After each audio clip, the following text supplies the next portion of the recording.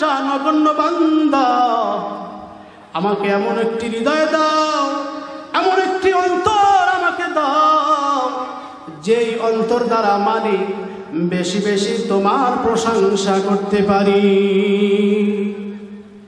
দ্বিতীয় নম্বর যেই বিষয়টা আল্লাহ তাআলার কাছে বেশি বেশি চাইবেন, সেটা হইল লিসান জাকির এমন একটা জিবা এমন একটা মুখ আল্লাহর কাছে কামনা করা।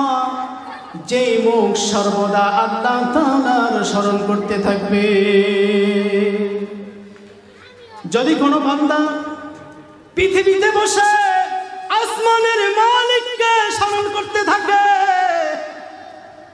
কোরআনের মধ্যে আসমানের মালিক বলেন যেই বান্দা বান্দি পৃথিবীতে বসে আমার শুক্রিয়া আদায় করবে আমি মালিক।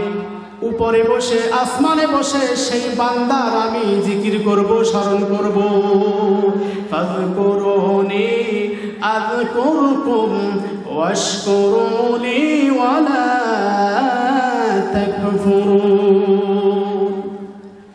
এজন্য সর্বদা মালিককে স্মরণ করা।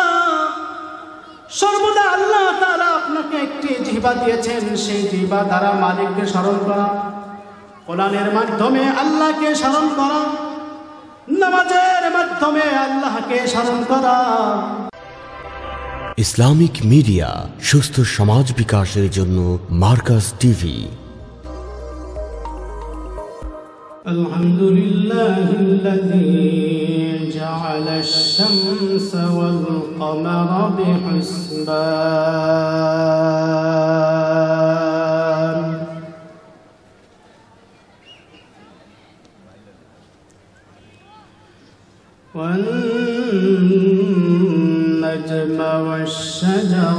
يسجدان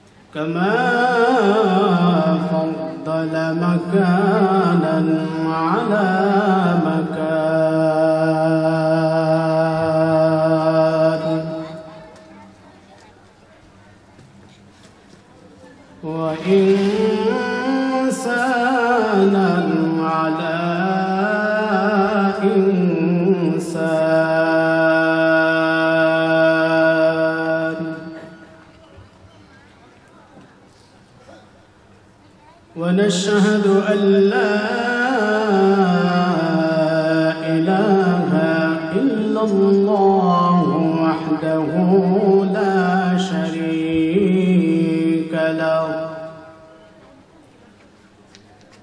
لا جد له ولا ند له ولا مثل له ولا مثال له. ونشهد أن لا إله إلا الله. وحده لا شريك له. ونشهد أن سيدنا ومولانا محمدا عبده ورسوله.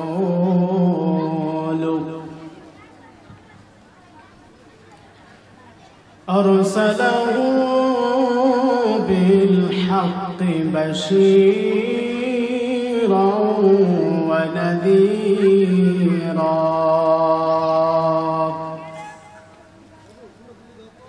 وداعيا إلى الله بإذنه وسراجا.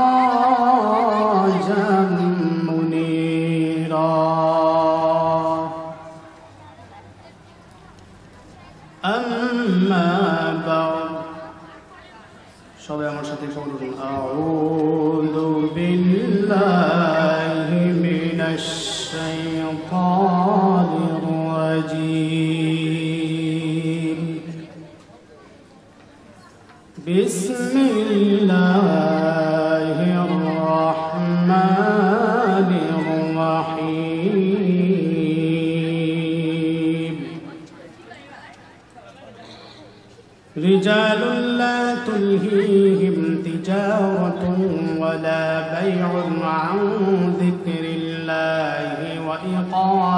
الصلاة وإيتاء الزكاة. وإقام الصلاة وإيتاء الزكاة يوما تتقلب فيه القلوب والأبصار.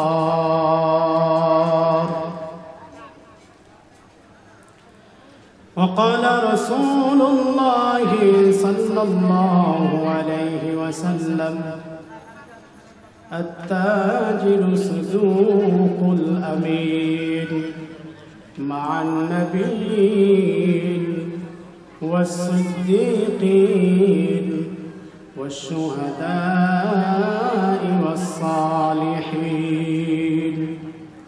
إن الله وملائكته يصلون على النبي. يا أيها الذين آمنوا صلوا عليه وسلموا تسليما. اللهم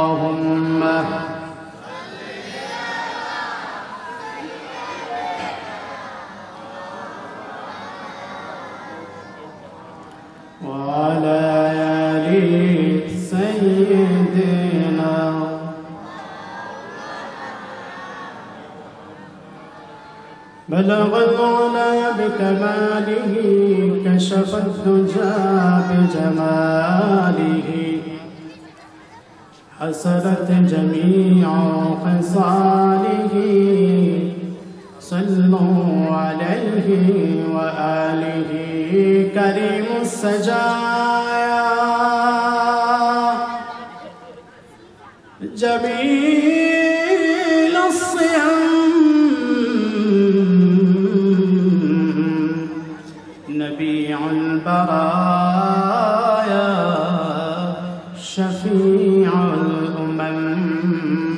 بلغ العلا بكماله حسنت جميع خصاله صلوا عليه আলহামদুলিল্লাহ আল্লাহ তাআলার কাছে অগণিত অসংখ্য শুকরিয়া জ্ঞাপন করছি এবং প্রথমেই ধন্যবাদ জানাবো আরামবাগ দোকানদার কমিটি ও এলাকা- এলাকাবাসীর যৌথ উদ্যোগে আজকের এই মাহফিলের আয়োজন করা হয়েছে। এবং বিশেষভাবে আরও ধন্যবাদ জানাব, মোবারকবাদ জানাব দশ নং সফল কাউন্সিলর হাজি মোহাম্মদ ইফতেখার আলম খোকন সাহেবকে এবং সকল এলাকাবাসীকে আমার পক্ষ থেকে মাহফিলের পক্ষ থেকে প্রথমে মোবারকবাদ জানাচ্ছি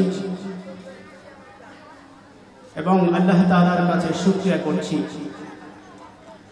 যিনি এই সময় ফিতনার যুগে আমাদেরকে এই জান্নাতের মজলিসে বসার তৌফিক দান করেছেন। এজন্য সকলে জোরে সরে বলি, আলহামদুলিল্লাহ। হাদিসের মধ্যে আছে পৃথিবীতে যখন কোথাও কোরআন এবং হাদিসের আলোচনা হয়, জিকির হয়, একদল ফেরেশতা এসে সেই মজলিসটাকে, সেই সমাবেশটাকে ফেরেস্তারা ঘ্রাও করে রাখে। এবং এই ফেরেশতারা গিয়ে আল্লাহ তাআলার কাছে রিপোর্ট করতে থাকে যে পৃথিবীর অমুক জায়গায়, অমুক স্থানে গোদনাইল আরামবাগে আরামবাগবাসী একত্রিত হয়ে, দোকানদার কমিটির একত্রিত হয়ে আজকে তারা ওয়াজ মাহফিলের দিনের আলোচনার মজলিস করেছেন। এগুলি ফেরেশতারা আল্লাহ তাআলার কাছে গিয়ে রিপোর্ট করে জোরে বলি, সুবহানাল্লাহ। আমরা সেই জান্নাতে মজলিসের মধ্যে বসা আছি। আমরা এতে খুশি না বেজার? আরও জোরে বলি, খুশি না বেজার? অবশ্যই আমরা খুশি। আমরা যতক্ষণ পর্যন্ত আলোচনা চলবে, ততক্ষণ পর্যন্ত ধৈর্য সহকারে বসে কোরআন এবং হাদিসের আলোচনা শুরু ইনশা আল্লাহ এবং এলাকার সম্মানিত, স্নেহময়, মমতাময়, শ্রদ্ধার পাত্রী, সম্মানিতা মা বোনদেরকেও বলব, যতক্ষণ পর্যন্ত কোরআন, হাদিসের আলোচনা চলবে, মাহফিল চলবে ততক্ষণ পর্যন্ত আপনারা মনোযোগের সাথে বসে আলেমদের মুখ থেকে কোরআন এবং হাদিসের আলোচনা শুনবেন ইনশা আল্লাহ বন্ধুগণ, আল্লাহ তালার কাছে শুক্রিয়া করে আমরা শেষ করতে পারব আজকে আপনারা কতটুকু জানেন? এই বাংলাদেশের ভিতরে খ্রিস্টান মিশনারিরা টার্গেট নিয়েছে এই বাংলাদেশকে দুই হাজার পঞ্চাশ সালের ভিতরে খ্রিস্টান রাষ্ট্রে পরিণত করে দেবে যদি এই অবস্থা হয়, তাহলে আমরা কোথায় থাকব এবং আমাদের থেকে বা লাভ কি? যদি আমরা মুসলমান হয়ে, ইমানদার হয়ে, ইমান নিয়ে আর আমল নিয়ে পৃথিবীতে বেঁচে না থাকতে পারি এর চেয়ে দেশান্তর হয়ে যাওয়া দেশ থেকে অন্যত্র চলে যাওয়াও অনেক ভালো। ঠিক কিনা বলে এজন্য এখন পর্যন্ত আল্লাহ তালার কাছে শুক্রিয়া জ্ঞাপন করছি, যিনি আমাদেরকে এখন পর্যন্ত নামাজ পড়ার, ইবাদত করার, এই দিনই মসজিষে বসার মতো তৌফিক দান করেছেন। এজন্য জোরে সোরে আরেকবার বলি, আলহামদুলিল্লাহ। বন্ধুগণ যখন কোন বান্দা বান্দি শুক্রিয়া জ্ঞাপনার্থে আল্লাহ পাকের শুক্রিয়া করবে, আলহামদুলিল্লাহ।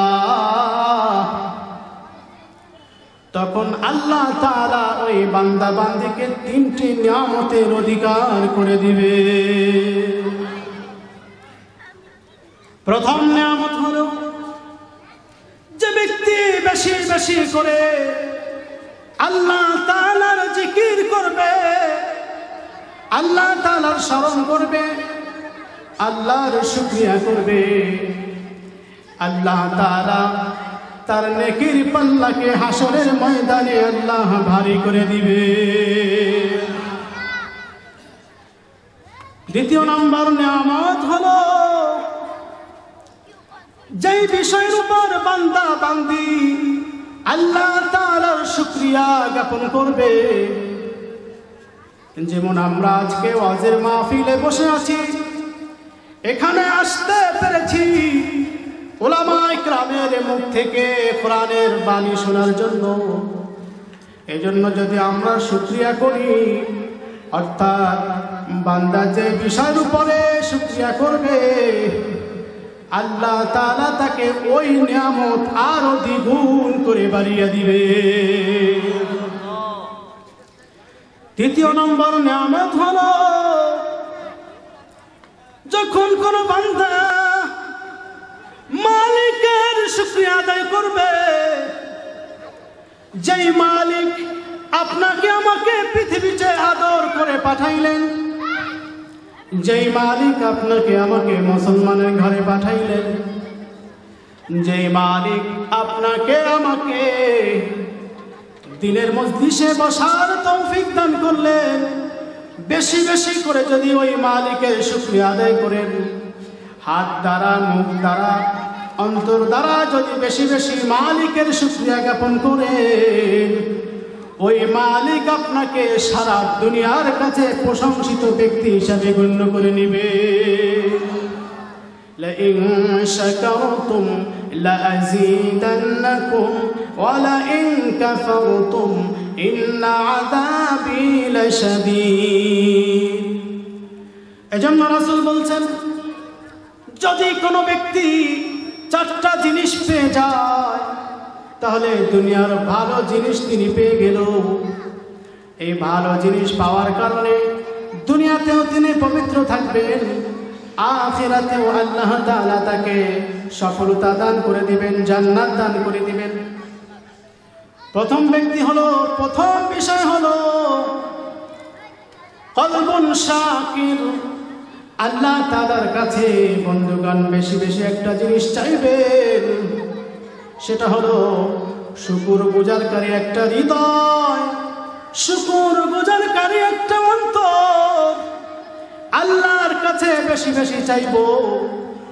এর কারণ হলো যেই দিলের মধ্যে, যেই রুহুর মধ্যে মালিকের শুক্রিয়া নয় ওই মানুষগুলির পৃথিবীর কখনোই তার শান্তি আসে না। আমাদের মধ্যে অনেকে আছে বাড়ি আছে, গাড়ি আছে, নারী আছে সব কিছু আছে। তারপরও তার হৃদয় থেকে, অন্তর থেকে সুক্রিয়া জিনিসটা বের হয়ে আসে না। তার কামনা বাসনা শেষ হয় না। তার মনের কামনা বাসনা থাকে, আমি আরও পেতাম। আমার আরও হইতো, আমার আরও হইতো। কিন্তু বন্ধু, তুমি একটু খেয়াল করে দেখো লক্ষ্য করে দেখো, তোমার চেয়ে আরেকটি মানুষ আল্লাহ তালার বান্দা রোডে পড়ে আছে, যার হাতও নাই, পাও নাই। আল্লাহ তালা তোমাকে যে হাত পাও দিলেন, সম্পদ দিলেন, সুস্থ রাখলেন জন্য শুক্রিয়া আদায় করতে হবে কিনা জোরে বলেন? অবশ্যই আল্লাহ তালার শুক্রিয়া আদায় করতে হবে। এই জন্য বেশি বেশি করে মালিকের কাছে চাওয়া, ও মালিক! আমি তোমার একটা নগণ্য বান্দা। আমাকে এমন একটি হৃদয় দাও, এমন একটি অন্তর আমাকে দাও, যেই অন্তর দ্বারা মালিক বেশি বেশি তোমার প্রশংসা করতে পারি। দ্বিতীয় নম্বর যেই বিষয়টা আল্লাহ তালার কাছে বেশি বেশি চাইবেন, সেটা হইল লিসান জাকির। এমন একটা জিবা এমন একটা মুখ আল্লাহর কাছে কামনা করা। যেই মুখ সর্বদা আল্লাহ তাআলার স্মরণ করতে থাকবে। যদি কোনো বান্দা পৃথিবীতে বসে আসমানের মালিককে স্মরণ করতে থাকে, কোরআনের মধ্যে আসমানের মালিক বলেন যেই বান্দা বান্দি পৃথিবীতে বসে আমার শুক্রিয়া আদায় করবে, আমি মালিক, উপরে বসে, আসমানে বসে সেই বান্দার আমি জিকির করব, স্মরণ করব। ফাযকুরুনি আযকুরকুম ওয়াশকুরুনি ওয়ালা তাকফুরুন এজন্য সর্বদা মালিককে স্মরণ করা সর্বদা আল্লাহ তারা আপনাকে একটি জিহ্বা দিয়েছেন, সেই জিহ্বা দ্বারা মালিককে স্মরণ করা। কোরআনের মাধ্যমে আল্লাহকে স্মরণ করা, নামাজের মাধ্যমে আল্লাহকে স্মরণ করা জাকাত প্রদানের মাধ্যমে মালিককে স্মরণ করা, হজ করার মাধ্যমে আল্লাহকে স্মরণ করা। আপনি যতই আল্লাহকে স্মরণ করবেন, তাফসিরে জালালাইনের মধ্যে আয়াতের ব্যাখ্যা আসছে বান্দা যত বেশি জমিনে বসে, ওই মালিকের শুক্রিয়া জ্ঞাপন করবে, জিকির করবে। আল্লাহ তাআলাও ওই বান্দাকে, বান্দিকে বেশি বেশি স্মরণ করবে। তো মেরা মাবুদ হায় ইয়া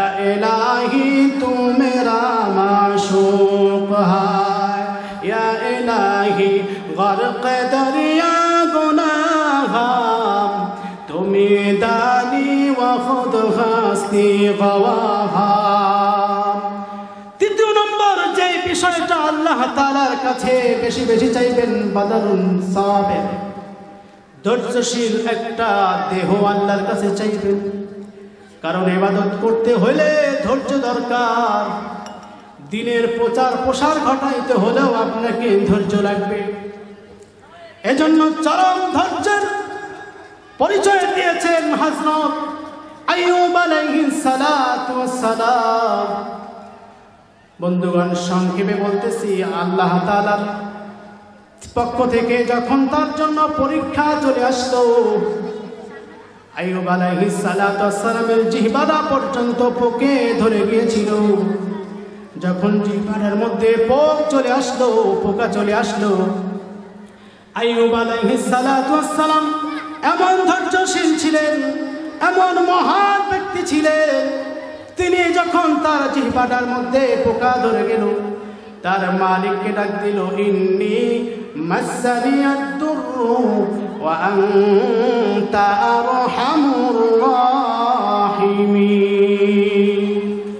পরমার আমি তো অসুস্থ হয়ে গিয়েছি।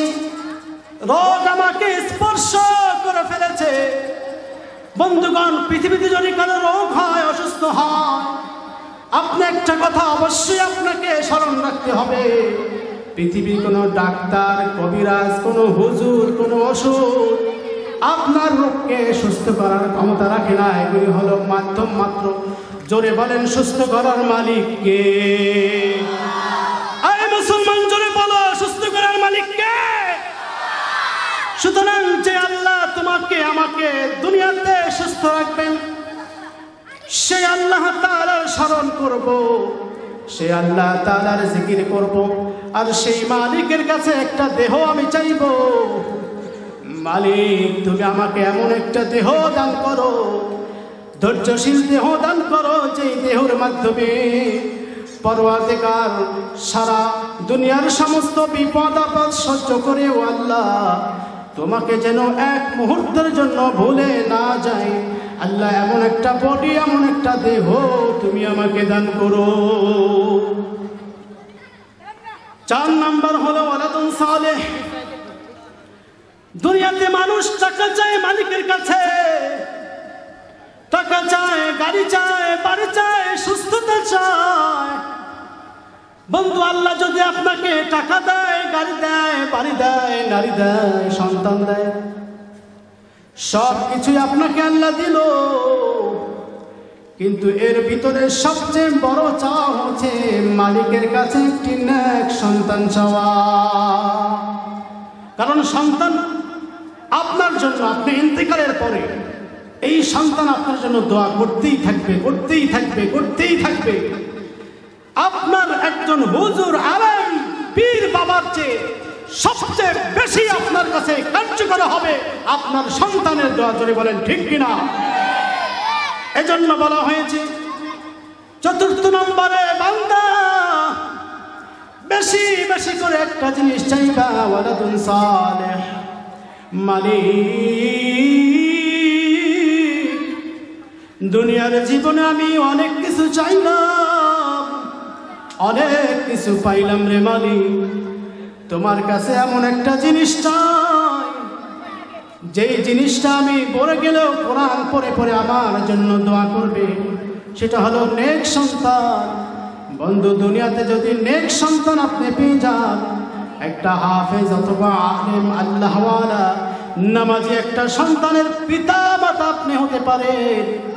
এই সন্তান যখন আপনার জন্য কোরআন পড়ে পড়ে দোয়া করতে থাকবে, আল্লাহ তাআলা সন্তানের দোয়া কবুল করে নিয়ে ওই মা বাবা যদি পাপিষ্ট থাকে মা বাবার জীবনের সমস্ত গুণাগুলি ক্ষমা করে দিয়ে আল্লাহ তাআলা ওই বান্দা বান্দিকে জান্নাত দিয়ে দিবেন। সুবহানাল্লাহ বলে। সুতরাং আমাদের তো আল্লাহর কাছে চাইতে হবে এই ভালো জিনিসগুলি। কিন্তু আমরা আল্লাহর কাছে চাই না। আল্লাহর কাছে গাড়ি চাই, বাড়ি চাই, সম্পদ চাই, সুস্থতাও চাই।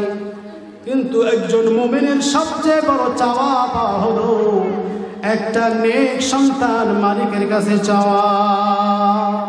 আমরা এই চারটা জিনিস আল্লাহর কাছে চাইতে পারব তো ইনশাল্লাহ এক নম্বর হলো কলবুন জাকির, কলবুন শাকির, শুক্রিয়াকারী একটি হৃদয়, আল্লাহর স্মরণকারী শুক্রিয়াকারী একটি হৃদয়, লিসানুন জাকির এবং আল্লাহর স্মরণকারী একটি জিহবা, এমন এক, তিন নম্বর এমন একটি শরীর যেটা আল্লাহ তালার ইবাদত করতে সর্বকাজের মধ্যে, দিনের মধ্যে আমার ধৈর্য থাকে।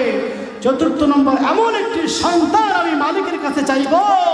ও মালিক, আমি দুনিয়া থেকে তো একদিন বিদায় হয়ে যাব, আপনিও বিদায় হয়ে যাবেন, জোরে বলেন ঠিক কিনা? এখানে হাত তুলে আমাকে দেখান। যে আপনি সারা জীবন পৃথিবীতে থাকতে পারেন, এবার একজন ব্যক্তি হাত তুলেন। মাশাল্লাহ একজন পাওয়া গেছে সারা জীবন পৃথিবীতে বাঁচা থাকবে। আমরা বাঙালিরা আসলে হুজুকে চলি। একটু হুশ থাকতে হবে, তাই না? এই পৃথিবীতে আদম আলাইহিসসালাম শুরু করে এখন পর্যন্ত পৃথিবীতে কেহই স্থায়ী হতে পারেনি। সকলকেই চলে যেতে হয়েছে। সকলেই চলে যাব। তাহলে আল্লাহ তাআলা আমাদেরকে পাঠালেন কেন? এবং আমাদেরকে নিয়েও যাবেন কেন? সংক্ষেপ কথা হচ্ছে, এই পৃথিবীটা হচ্ছে একটি পরীক্ষার হল। এজন্য আল্লাহ তাআলা বান্দাকে পৃথিবী থেকে নিয়ে যাবেন। এবং এই পৃথিবীতে তাকে কিছু সময় দিয়েছেন। কেন? বান্দাকে আল্লাহ তাআলা পরীক্ষার জন্য খালাকাল মাউতা ওয়াল হায়াতা লিয়াবলুয়াকুম আইয়ুকুম আহসানু আমালা। আল্লাহ তাআলা জীবিত এবং মৃতকে সৃষ্টি করেছেন। বান্দাদেরকে পরীক্ষা করার জন্য, তোমাদেরকে পরীক্ষা করার জন্য। আইয়ুকুম আহসানু আমালা। তোমাদের মধ্যে কার আমল ভালো? আইয়ুকুম আহসানু আকসারা। এখানে আল্লাহ তাআলা বলেননি। আকসারা বললে হতো, কে অধিক আমল করে? আল্লাহ তালা সেটার পরীক্ষা নেবেন। কিন্তু না, আল্লাহ তাআলা বলছেন আমালা, কার আমল ভালো? ভালো আমল, সৎ আমল ইখলাসের সাথে আমল যদি কম হয়, আল্লাহ তাআলার কাছে সেটা অনেক দামি, পাহাড়ের চেয়েও বেশি নেকি দিয়ে আল্লাহ তাআলা বান্দাকে জান্নাতে দিয়ে দিবেন। ফিল আরদ, ফায়ানজুরা কাইফা তা'মালুন। আল্লাহ তাআলা মানুষকে দলে দলে পৃথিবীতে পাঠিয়েছেন। তাকে তার আমলটাকে দেখার জন্য। দুনিয়াতে সে ভালো কাজ করে নাকি খারাপ কাজ করে? দুনিয়াতে ভালো কাজ করুন অথবা খারাপ কাজ করুন, এই সুযোগটা আপনাকে আল্লাহ তালা দিয়েছে। এবার এখানে অনেকের প্রশ্ন আসতে পারে। যদি আল্লাহ তালা আমাকে ভালো কাজ এবং খারাপ কাজ করার সুযোগ দিয়েছেন তাহলে তো আমি যে খারাপ কাজ করি, এটা আমার কোনো দোষ নয়। আল্লাহ তালা আমাকে সুযোগ দিয়েছেন। অনেকে এই প্রশ্ন করে থাকেন। খেয়াল করে শুনুন। এই পৃথিবীটা হচ্ছে একটা পরীক্ষার হল। যেমনি ভাবে একটা স্টুডেন্ট কলেজ, ইউনিভার্সিটি, মাদ্রাসায় পরীক্ষার জন্য তাকে তিন ঘণ্টার টাইম নির্ধারিত করে দেওয়া হয়। এই তিন ঘণ্টার ভিতরে যদি কোনো ছাত্র ছাত্রী তার বন্ধুর কাছে চিঠি লেখে অথবা গল্প লেখে। কোনো এক্সামিনারের স্বার্থ নেই, কোনো পাওয়ার নেই। সে তার ক্ষমতা প্রয়োগ করতে পারবে না স্টুডেন্টকে পরীক্ষার হল থেকে বের করে দিতে পারবে না। কেন? এই তিন ঘণ্টা সময় তাকে পরীক্ষার জন্য নির্ধারিত করা হয়েছে। এই তিন ঘণ্টার মধ্যে কোনো অপকর্মের কারণে যদি এই পরীক্ষককে হল থেকে বের করে দেওয়া হয়, তাইলে এটা আর পরীক্ষার হল থাকল না। যদি বলেন, ঠিক কিনা? ঠিক তদ্রুপ আল্লাহ তাআলা আপনাকে আমাকে দুনিয়াতে এই পরীক্ষার হলে পাঠিয়েছেন। এই পরীক্ষার হলে কিছু সময় দিয়েছেন। এখানে যদি কেউ গুনাহ করে, আল্লাহ তাকেও ছাড় দেন। যদি ভালো কাজ করে, সেটাও আল্লাহ কবুল করে নেন। এরকম না যে গুনাহ করার সাথে সাথে আল্লাহ তাআলা তাকে উঠাই নিয়েছেন, তাকে সাথে সাথে শাস্তি দিয়েছেন। এরকম না এখানে সুযোগ দিয়েছেন। আর যদি সুযোগই না থাকে তাকে এটা পরীক্ষার হল হয় না। আর পরীক্ষার হলের কাজই হলো বান্দা ভালো করুক, মন্দ করুক, তাকে ছাড় দেওয়া। এরপরে পরীক্ষার ফলাফলের পরে সে নিজেই বুঝতে পারবে পৃথিবীতে সে কি করে এসেছে, কি নিয়ে আল্লাহ তালা দরবারে উপস্থিত হয়েছে। যেমনি ভাবে একজন স্টুডেন্ট একজন ছাত্র সেও বুঝতে পারবে যে তিন ঘণ্টার পরীক্ষার মধ্যে সে কি করেছে। রেজাল্ট শিট যখন তার হাতের মধ্যে চলে আসবে, তখন তার মেধা ক্লিয়ার হয়ে যাবে যে আমি তিন ঘণ্টা পরীক্ষার মধ্যে আমি কি করেছি। এজন্য বন্ধুগণ, পৃথিবীতে কেউ আছে হিন্দু, কেউ আছে বৌদ্ধ, কেউ আছে খ্রিস্টান, কেউ আছে মূর্তি পুজো কেউ আছে নানান ধর্মাবলম্বী। এবার প্রশ্ন হলো, আল্লাহ তারা তো তার ইবাদত না করার কারণে, আল্লাহর সাথে নাফার মানি করার কারণে, আল্লাহ তাআলা কোনো বান্দাকে তো দুনিয়া থেকে ধ্বংস করে দিচ্ছেন না। হিন্দুরা হিন্দুদের ধর্ম পালন করতেছে, খ্রিস্টানরা খ্রিস্টানদের ধর্ম পালন করতেছে, ইহুদিরা ইহুদের ধর্ম পালন করতেছে মূর্তি পুজুকরা, মূর্তির ধর্ম আগুন, অগ্নি পূজকরা, আগুনের ধর্ম পালন করতেছে। এভাবে হাজারো ধর্ম আছে, আল্লাহ তো কিছু বলতেছেন না। কিন্তু হ্যাঁ এই পরীক্ষার হলে আমরা কীভাবে পাশ করব? এই পরীক্ষার হলে পাশ করার জন্য আল্লাহ তাআলা একটি ধর্ম দিয়েছেন। সেই ধর্মটির নাম হলো ইসলাম। ঠিক কিনা বলেন, ঠিক কিনা বলেন। হজরত মোহাম্মদ সাল্লাহ সাল্লাম, আদম আলাইসাল্লাম থেকে শুরু করে আজও পর্যন্ত পৃথিবীতে যত ধর্ম আছে, সবগুলির মোহাম্মদের কোরআন আসার করার সব ডেড এক্সপায়ার হয়ে গিয়েছে। একমাত্র একটা ধর্ম, গ্রান্টের ধর্ম, সেটা হচ্ছে ইসলাম। জোরে বলেন ঠিক কিনা?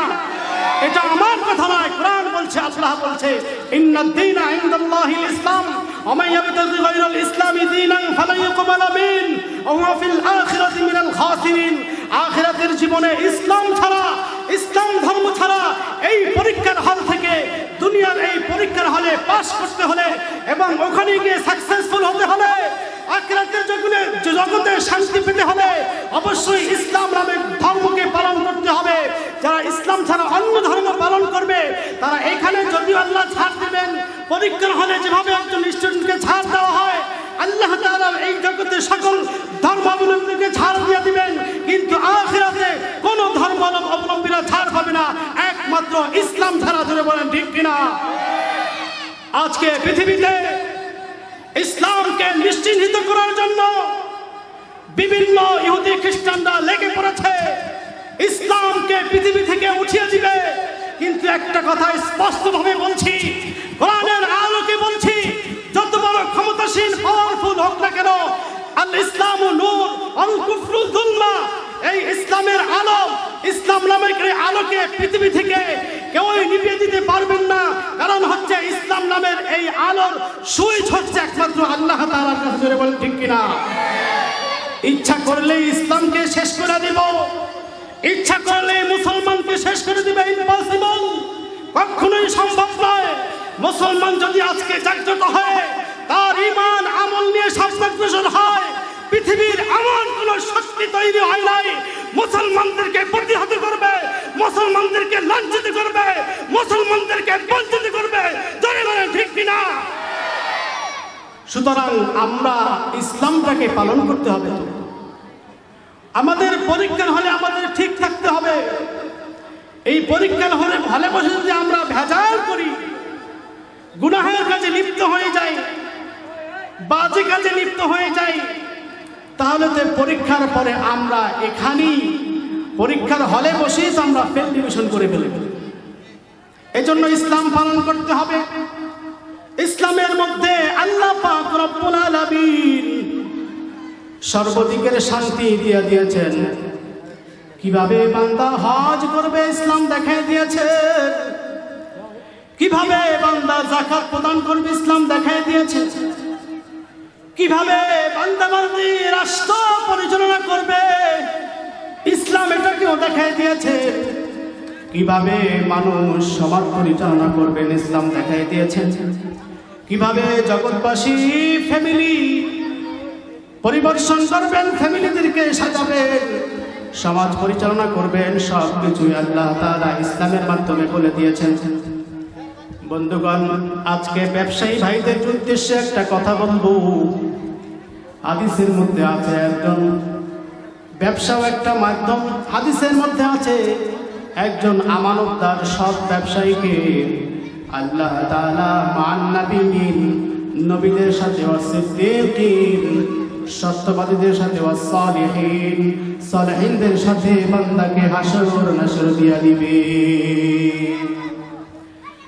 এজন্য আরামবাগ, আরামবাগের সমস্ত ব্যবসায়ীকে আমি ধন্যবাদ জানাই। আমার অন্তর থেকে আমি তাদের জন্য দোয়া করব।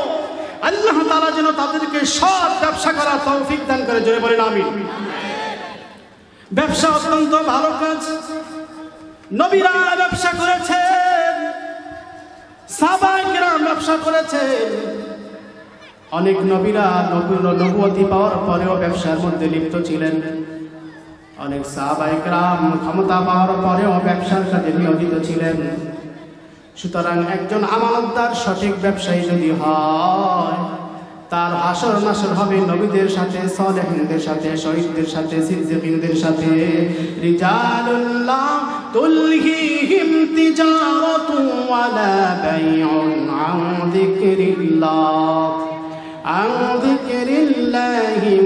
الله وإقام الصلاة وإيتاء الزكاة يخافون يوما تتقلب فيه القلوب والأبصار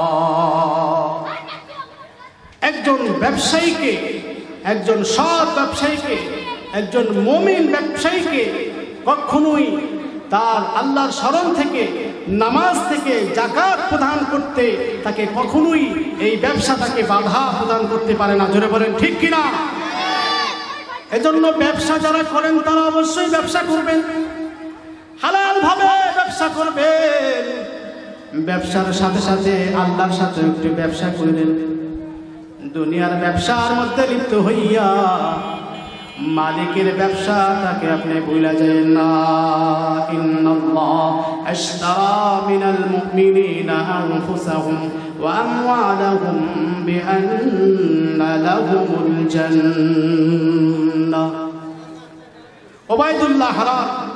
একজন বুজুর্গ ব্যক্তি ছিলেন, আল্লাহওয়ালা ব্যক্তি ছিলেন।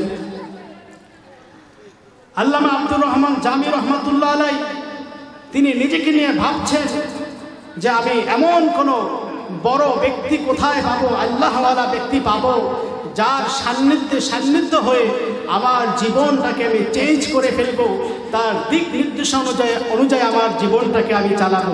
আজকে তো মানুষ আলেমদের কাছে যায় না।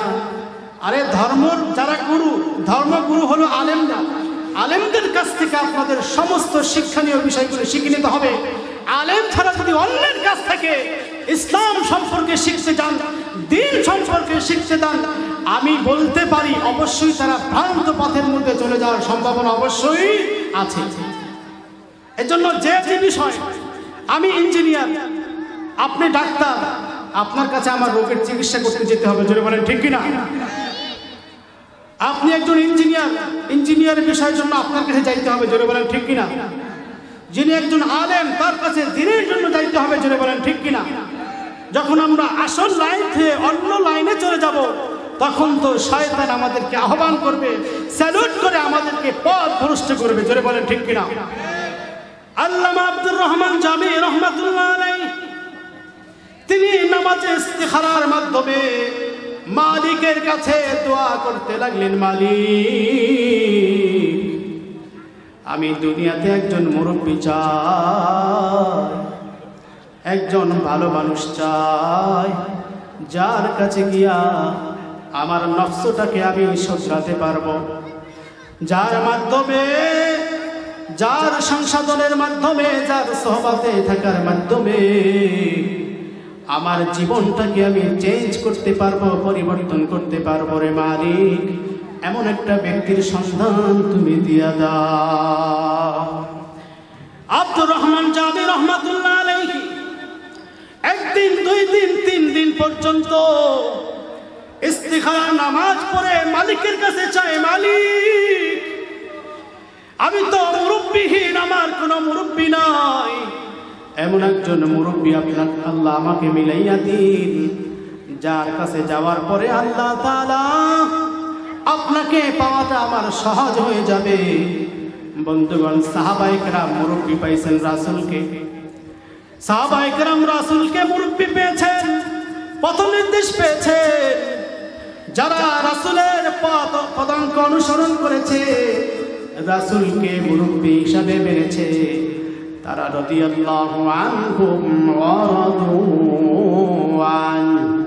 যারা মুরব্বী হিসাবে মেনেছে, আদর্শ হিসাবে মেনেছে, দুনিয়ার সমস্ত ক্ষেত্রে রাসুলকে যারা প্রাধান্য দিয়েছে দুনিয়াতেও তারা কামিয়াব, আখিরাতও তাদের জন্য জান্নাত অপেক্ষা করতেছে। জোরে বলেন, ঠিক কিনা? এমন একজন মুরব্বী সাহাবাই কিরাম পেয়েছেন।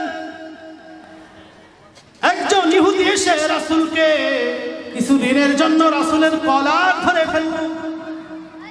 হজরত ওমর খাপ থেকে তার বের করে তার প্রতিশোধ নেওয়ার জন্য শক্তিশালী হয়ে দাঁড়ালেন, তার প্রতিশোধ নেবেন। আমার রসুল বললে, ওমর, সাবধান হয়ে যাও, তরবারি খাপ থেকে বের করেছ, খবরদার। এই তরবারি আর তুমি কখনোই উপরে উঠাইবে না।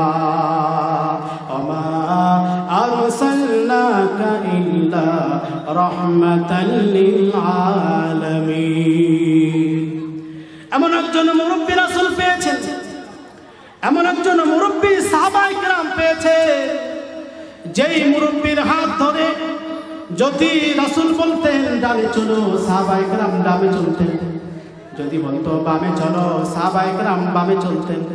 এমন মুরব্বীর তত্ত্বাবধানে থেকে সমস্ত জাহিল মানুষগুলি স্বর্ণের মানুষে রূপান্তরিত হয়ে গেছে ঠিক কিনা বলে কিন্তু যারা মুরব্বী গ্রহণ করে নাই, রাসুলের আদর্শ গ্রহণ করে নাই। তাদেরকে এক সময় বলা হতো আবুল হেকাম। রাসূলকে কটাক্ষ করার কারণে, রাসূলের পদাঙ্ক অনুসরণ না করার কারণে আবুল হেকাম আর আবুল হেকাম থাকেন নাই। আবুল হেকাম আবু জাহেলে পরিণত হয়েছে। এজন্য আব্দুর রহমান জামি রহমাতুল্লাহ আল্লাহর কাছে ইস্তিখারার নামাজ পড়ে আল্লাহর কাছে চাই আল্লাহ। এমন একজন ভালো মানুষ, আমাকে আপনি মিলাইয়া দিন। ব্যবস্থা করে দিন, যার কাছে গিয়ে আমি দিন শিখতে পারব, ইসলাম শিখতে পারব, ভালো বিষয়গুলি আমি শিখতে পারব, এমন একজন মানুষের ব্যবস্থা আল্লাহ করে দিন।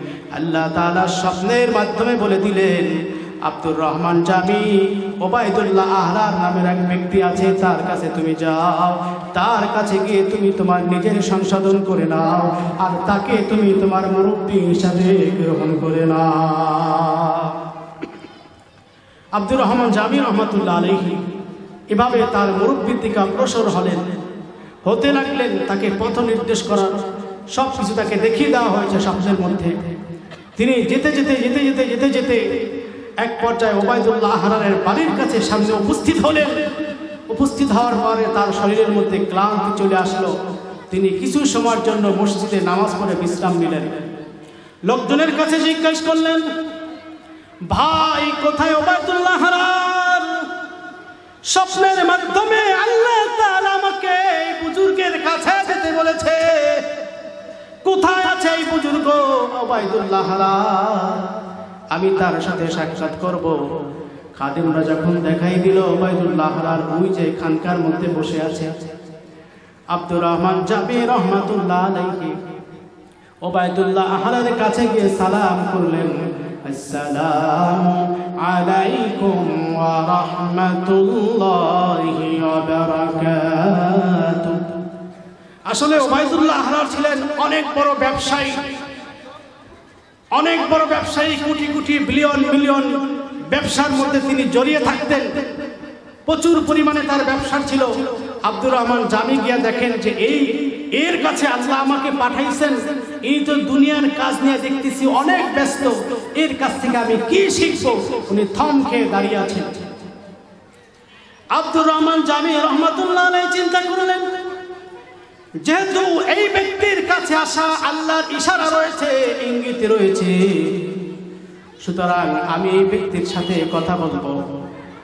আব্দুর রহমান জামি রহমাতুল্লাহ আলাইহি ওবায়দুল্লাহ হালারের কাছে গিয়ে একটা বাক্য বলেছিলেন, নমরুদাস থেকে দুনিয়া দস্তেদার নমরুদাস থেকে দুনিয়া দস্তেদার আব্দুর রহমান জামি রহমাতুল্লাহ আলাইহি বলেন যে ব্যক্তি দুনিয়া নিয়ে এত ব্যস্ত থাকে, যে ব্যক্তির আশেপাশে এত দুনিয়া, যে ব্যক্তি কাজ করে, দুনিয়ার কাজ করে, তার সময়কে অতিবাহিত করতেছে না। যে ব্যক্তি দুনিয়ার জন্য পেরেশান হয়ে পড়েছে, এই ব্যক্তির কাছ থেকে আমি আর কি শিখতে পারব? আর এই ব্যক্তি কি আল্লাহ ওলা হইতে পারে? আর আল্লাহ তালা আমাকে তার কাছে শিক্ষার জন্য পাঠিয়েছে। ওবায়দুল্লাহ তার এই কথা শোনার পরে তিনি বললেন, ও আব্দুর রহমান দুনিয়াদার যদি আমি হয়ে থাকি, সেটাও হচ্ছে আমার বন্ধুদেরকে বাঁচানোর জন্য। কারণ গতকালকে তুমি নিজেকে স্বপ্নে দেখেছিলে, তুমি জান্নাতে যাওয়ার পথে একটা নেকির কারণে আটকে গিয়েছিলে। সেখানে তুমি স্বপ্নে দেখেছিলে একজন বৃদ্ধ। তোমার কাছে এসে একটা নেকি দিয়ে তোমাকে পার করে দিয়েছে। সেটা হলাম আমি ওবায়দুল্লাহ। সুতরাং যদি আমি দুনিয়াদার হয়ে থাকি, ব্যবসায়ী হয়ে থাকি, এটা হলো বন্ধু তোমাদেরকে জাহান্নাম থেকে বাঁচানোর জন্য। এজন্য বন্ধুদের বন্ধুদেরকে বলব, আরামবাগের সমস্ত ব্যবসায়ী বন্ধুদেরকে বলব, ব্যবসা এমন একটা কাজ, এমন একটা নিয়ামত, যেই কাজটা রাসুলরা করেছেন, সাহাবায় কারাম করেছেন। আপনি যদি সৎ ব্যবসা করতে পারেন সৎ ব্যবসার কারণে আপনি দুনিয়া তো লাভবান হবেন, আখেরাতেও আপনি লাভবান হবেন। আর যদি সৎ ব্যবসা আপনার কাছে না থাকে, অসৎ ব্যবসা করেন, দুনিয়াতেও আল্লাহ তাআলা আপনাকে ধরে ফেলবে, আখেরাতেও আপনার কোনো উপায় থাকবে না। এজন্য আমরা সৎভাবে ব্যবসা করতে রাজি আছি তো ইনশাল্লাহ সৎভাবে ব্যবসা করব সবাই। সৎ ব্যবসার মাধ্যমে আল্লাহ তারা আপনার সম্পদকে বাড়িয়ে দিবেন। অসৎভাবে ব্যবসা করার কারণে আল্লাহ তালা আপনার থেকে সম্পদকে ছিনিয়ে নেবেন।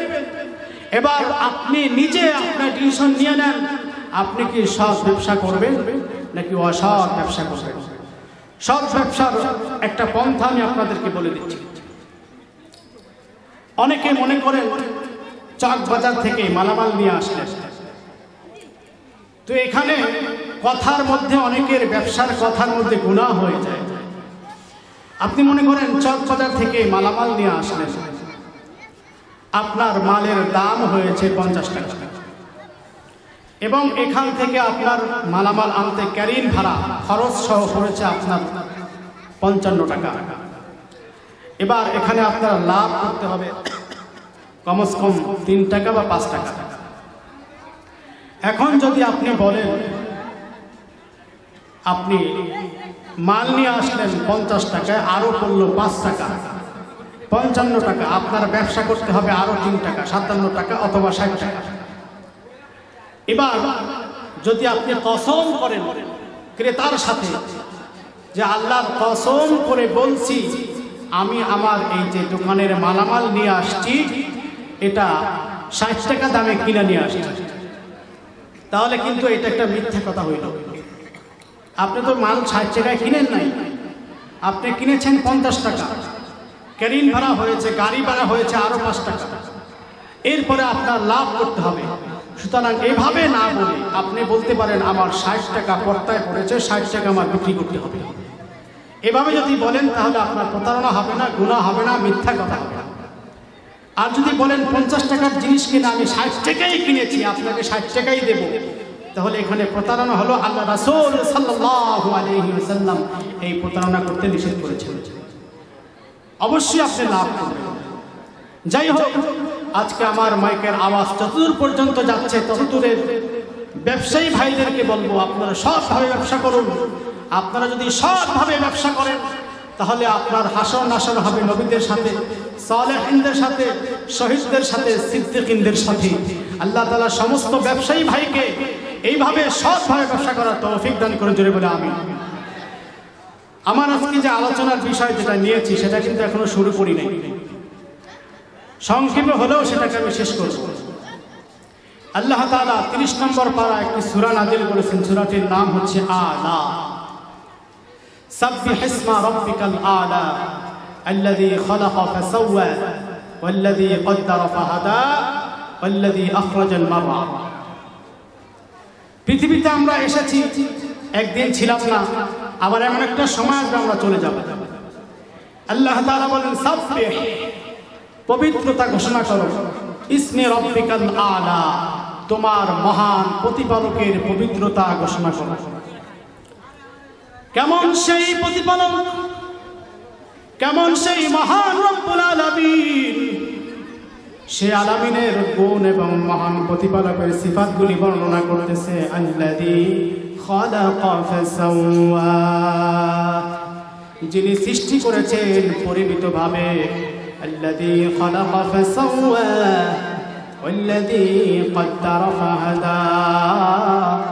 আল্লাহ তালা পৃথিবীটাকে সকল মানুষকে পূর্ব কোনো নমুনা ব্যতীত বান্দা বান্দিকে সৃষ্টি করেছেন।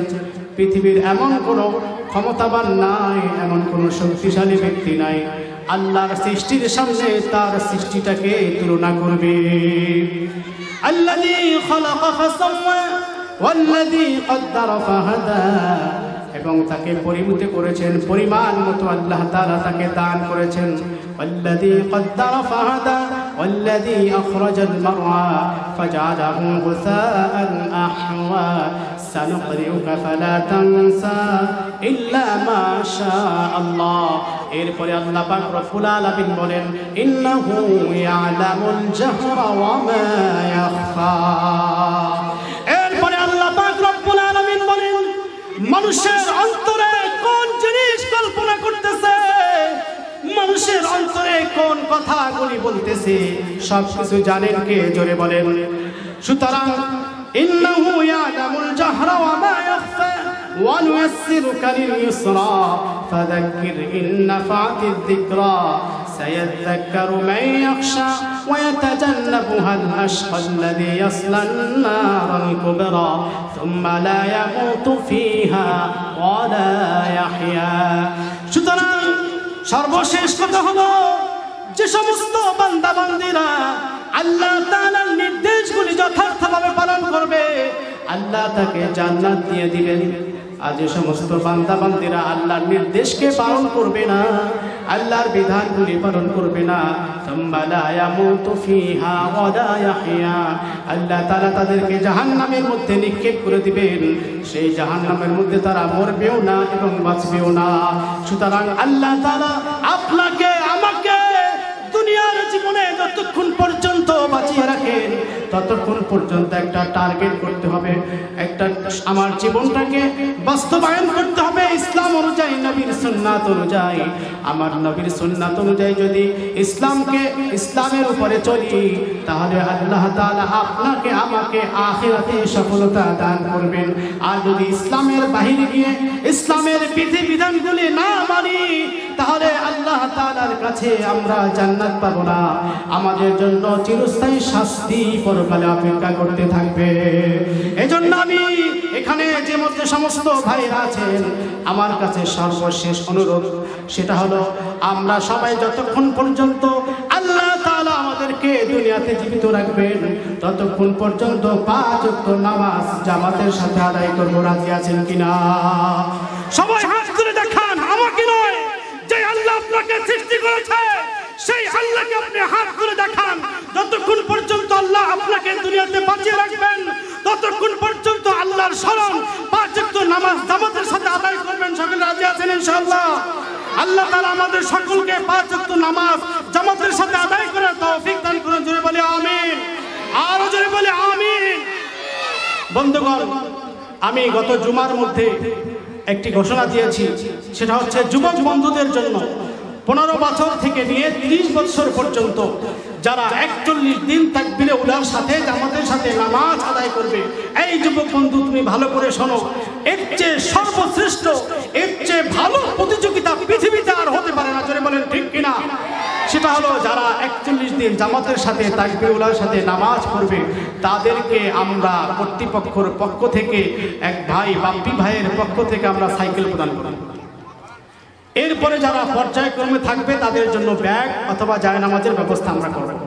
সুতরাং যুবক বন্ধুদেরকে বলছি, তোমরা রেডি হয়ে যাও। শনিবার থেকেই হয়তো তোমাদের এই সর্বশ্রেষ্ঠ প্রতিযোগিতা শুরু হবে এবং এই প্রতিযোগিতার মাধ্যমে তোমরা দুনিয়াতেও লাভবান হয়ে যাবা, আখিরাতেও তোমরা আল্লাহর কাছে প্রিয় বান্দা হয়ে যাবা। জোরে বলেন, ঠিক কিনা? আল্লাহ তাআলা আমাদের সকলকে ইসলামের যাবতীয় বিধিবিধানগুলি যথার্থভাবে পালন করার তৌফিক দান করুন, জোরে বলে আমিন। আরও জোরে বলে আমিন। আখির দাওয়ানা আনিল রাব্বিল আলামিন। ইসলামিক মিডিয়া, সুস্থ সমাজ বিকাশের জন্য মার্কাস টিভি।